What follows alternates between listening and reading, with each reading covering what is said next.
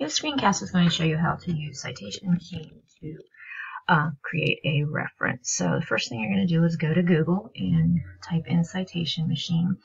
Um, once you get to this link, you're going to see that there's several different formats. Um, I think probably most of your teachers are using MLA, but if they're telling you to use APA format, um, I don't really have a preference as long as you have uh, some type of format that uh, provides the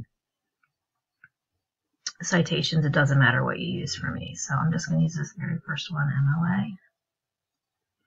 Okay, what you're going to see here is uh, you can even change your mind up here. So if I'd want to go to APA this format, I could.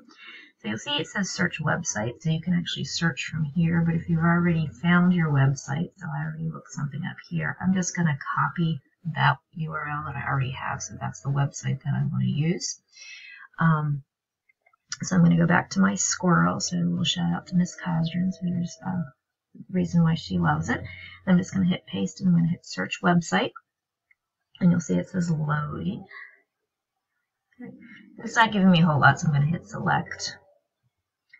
And it found lots of citation information. It just couldn't find a publisher or sponsor.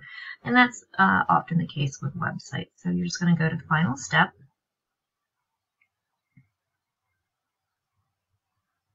Okay. And as you scroll down, it gives you all the components of a website or of a citation.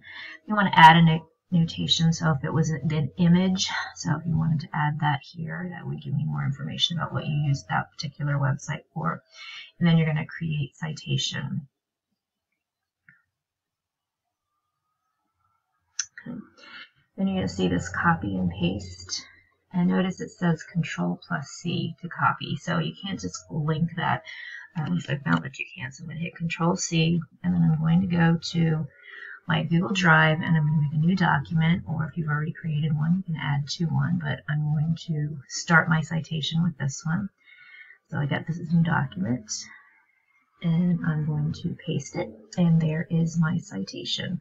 So you want to make sure if this is your first one, um, you're going to say citations for and whatever the name of your project is so that you can refer back to it um, and you can add the next uh, set of references right underneath this. So very simple tool for creating citations using the citation machine.